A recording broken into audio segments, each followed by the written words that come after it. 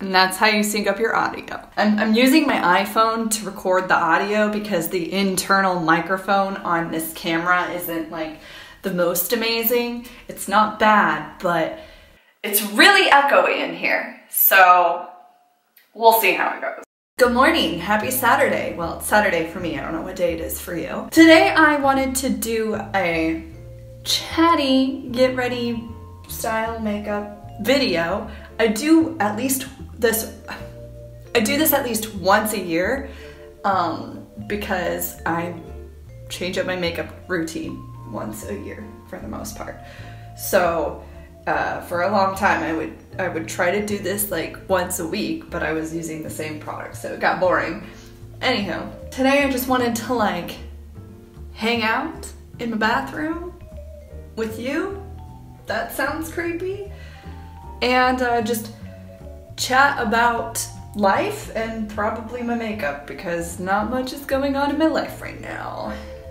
I like to start off with this Caudalie Beauty Elixir. I bought this like three weeks ago. Look how much I've used of it already. I use it, oh, it smells really good. I use it like once a day, usually, sometimes twice a day. This is the full size. And it's really freaking expensive, but it smells good and it feels nice. So I might repurchase it, but we'll see. I then like to go on in with this Josie Maran Argan Daily Moisturizer. I mentioned this and you know, my, my favorites at the moment. And it has SPF in it, so it, it, takes out the step of having to put this in, and it's also a moisturizer, although because I washed my face like three hours ago, I put this uh, Cosmetic Lab moisturizer on. So I like this moisturizer, but the only thing is, is that it comes in one shade for the tinted color, which my skin color is not the same skin color as everyone's in the world. So I feel like that's dumb. If you're gonna have a tinted moisturizer, at least have like shade options for super fair, not as fair, kind of darker and like really dark. Like four options isn't a lot, but one option certainly isn't enough. So I just put that all over my face. My idea for a makeup routine is that it's functional, being that, hand washing break, it's functional being that the products that I'm using have multiple functions, like this tinted moisturizer. Um, and quick because I wake up like 40 minutes before I have to go and I don't really want to think about what I have to do. I then like to go in with this Glossier stretch concealer. I have been loving this stuff. I used to use it with my fingers, but I watch Katie Jane Hughes, I think that's her name, on Instagram, and she raves about this, and she uses this brush to apply it all over. I don't apply it all over, I just apply it like under my eyes, on my eyelids, and any red areas because I don't like to have a lot of makeup on my face if I can avoid it. So that's pretty much what I do with that. I don't generally wear a lot of makeup because the more makeup I wear, the more time it takes to do. And like I said, I like things to be quick and easy and out the door, but still look fresh and polished and put together. So this seems to work for me. It's funny though, yesterday I wore an eyeshadow to work. I don't generally wear like eyeshadow, or if I do, it's not super dark. But I wore this eyeshadow. It's this eyeshadow by Bare Minerals. this eyeshadow by Bare Minerals. It's gorgeous, like goldish brown, bronzy. It's not bronze, but it's not brown. I don't know how to describe it. It's called Sex Kitten, if you want to look it up. I wore it all over my eyelids and I kept everything else pretty bare because balance. And this woman that I work with, she's like, whoa, you look so different with makeup on. It's amazing. Literally all I did was put eyeshadow on and I didn't think I looked that different, but I guess I did. So then I just take this NYX HD finishing powder. It's the translucent color and I put it under my eyes, on my eyelids, and basically anywhere where the makeup will start to separate from my face and get away. Next I go in with this brow power. This is IT Cosmetics Brow Power. Uh, forgive me if I start to get close to the mirror. Actually, I just use And it is, it changed my life when it came to eyebrows.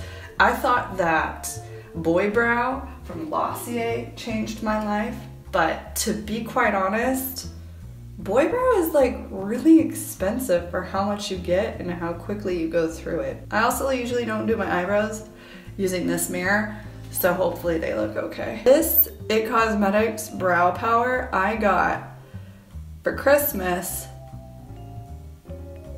and it's July. So I feel like when this runs out, I'm most definitely gonna purchase it. A couple of weeks ago, I finally updated my driver's license from an Indiana driver's license to a DC driver's license. Shh, don't tell anyone. And my Indiana driver's license picture was so awful. You know, it's the law in most states that you can't smile in your driver's license picture because apparently it's easier to identify people when they don't smile, which is kind of weird to me because smiles are so unique. So I looked awful. And then I got my new driver's license and I didn't look quite as awful. Still not amazing. But I've come to the conclusion that the reason I looked so gosh darn terrible in my driver's license picture was because my eyebrows were non-existent. I got that driver's license picture, when did I turn 21? I don't know, I got my driver's license picture taken the week before I turned 21 because obviously I needed a new driver's license because mine was expiring and uh, but if that gives you any perspective, when I was 21, I knew filling in eyebrows was a thing, didn't really know how to do it, didn't really want to take the time to do it, and it took me all the way until I first discovered boy brow. Well, the next I'm just like jabbering about makeup today. The NYX um, fine brow pencil is pretty good too. It's only 10 bucks, but it still doesn't last as long as that IT Cosmetics one. It wasn't until I discovered that that I really learned how to fill in my eyebrows and then boy brow and then finally the IT Cosmetics brow power. It's the best thing I've ever put on my face. Now I'm going to use a bronzer, Too Faced Chocolate Matte Soleil. I'm kind of disappointed because you know how powders get when they start to dry out? It's already happening with this and I just got this like when I got that Caudalie split spray. I've been wanting the Chocolate Soleil bronzer for so long and I never bought it because it's $30 and I didn't really wear bronzer. Like I wore the bronzer in the cosmetics palette that I had, but like bronzer wasn't really my thing. It was really blush. I treated myself to a Sephora shopping spree and I bought this. And they changed the packaging. So I got the new packaging. I have no idea if this formula is different than the previous formula. But I like it. I then take a little shading brush, put it in the eyeshadow and eyeshadow, the bronzer, and then put that in my crease and blend it onto my eyelid.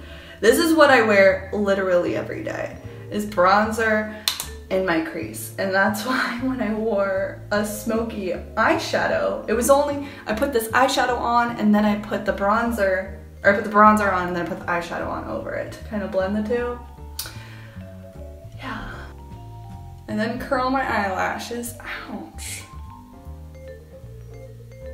I never not curl my eyelashes, although I don't think that they actually stay curled throughout the day.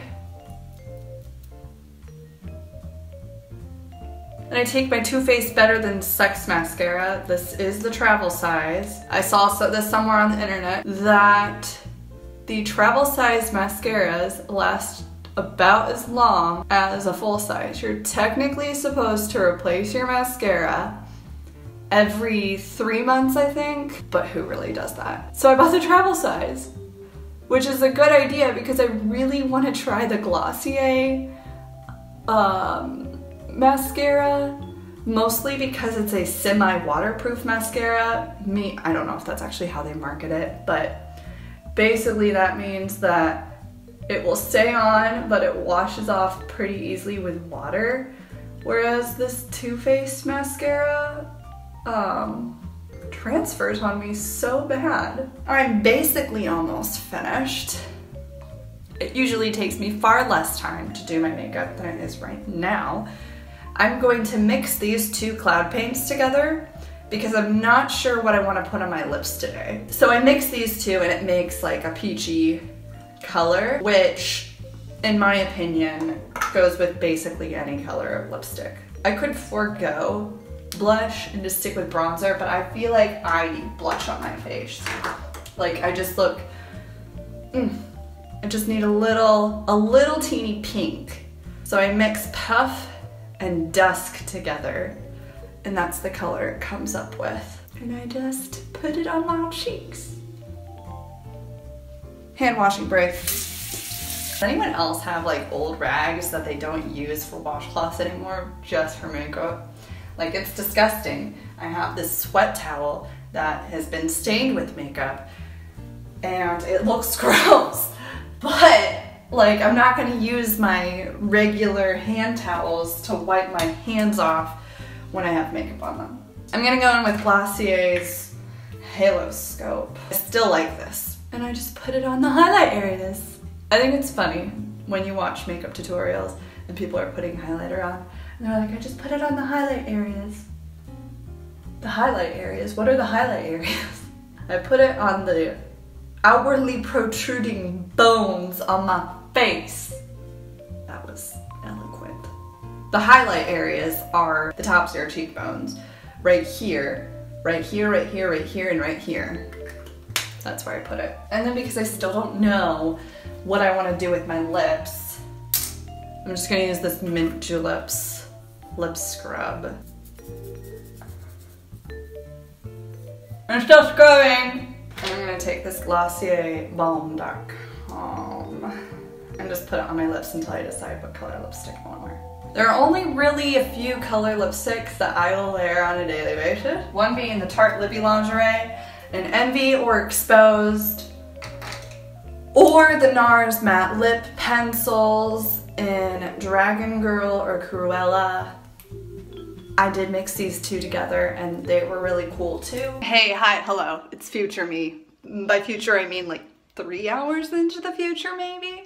I decided on a lip color, Tarte Lip, Lippie Lingerie and Envy. I just, you know, I couldn't leave you hanging on the lipstick that I'm wearing and it goes better with this bathing suit, I think, maybe. Okay, bye. So that's basically what I do every day to my face for work, for going to the pool, for everyday life. And now I have to figure out what I want to do with the rest of my life right now. All right, so that's my everyday makeup at the moment. If it changes drastically, you'll be the first to know. Well, actually, probably Instagram will be the first to know. Catch you later.